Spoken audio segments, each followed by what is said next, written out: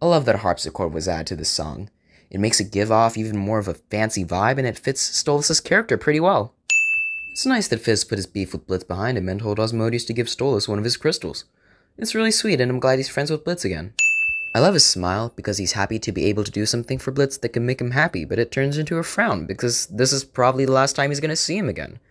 I love the small details in this music video. It really makes you understand what Stolas is feeling without him having to say anything. Is expected, an oath by blood to hold the tome. I also love how the lyrics reflect Stolas' character too. Because he loves words and he's a royal figure, of course he's gonna use fancy ass rich people talk. Man, the lighting in this scene is amazing too. I really love how the moon represents Blitz because the moon symbolizes a changing heart and a vacillating resolve, according to Google, which is basically what Blitz feels about his relationship with Stolas right now. Let me hold you, keep you close to me. I long to hear your voice. The rotation, man. The rotation is just amazing. But dearest, I know better now. I must give you this choice. I like how the lyrics were changed for this part of the song. It really shows how much Stolas has grown as a character since the start of the show. It's nice that he recognizes how toxic his relationship with Blitz is and doing the right thing because he loves him, even though he wants to be with him. I can give you everything you need. Or do you want to hear me plead? Just look my way. Just look my way. The chord progression is really nice. It matches the nature of the lyrics really well and makes the song feel even more sad. Please stay. Look my way. I like how Bryce Pinkham is singing in a deeper voice. It makes Stolas sound more serious and sad. This unspoken contract, Nice transition. a deed we forged for mutual gain. The strings, man, I can't get over how good the strings are in this part of the song. It makes the whole song sound even more tragic than it already does, and it matches the beautiful visuals really well too. I don't care that you're of lower station or primed to sate my dark temptations. One of the many instances where the nuances in the animation does an amazing job of complementing Bryce Pinkham's singing. It just adds a whole nother layer to his performance. I also love how Blitz is a constellation in this. I'm really digging the space imagery. Why can't you understand? Let me explain.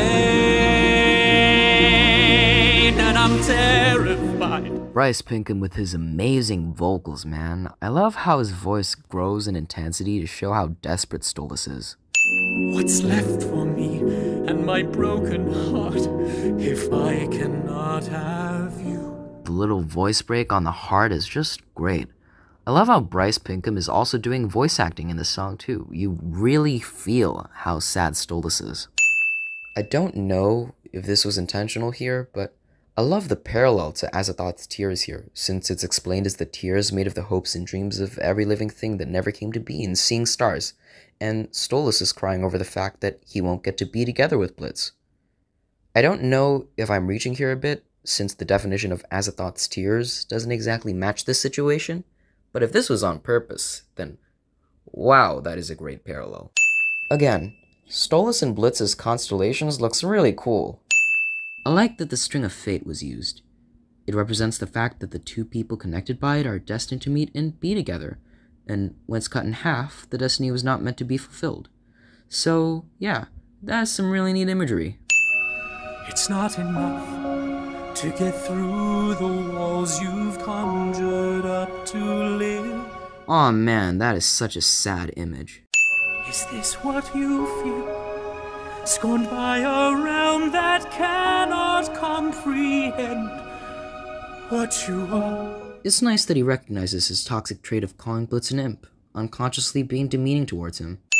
I really like how the two ends of the broken string look like hands.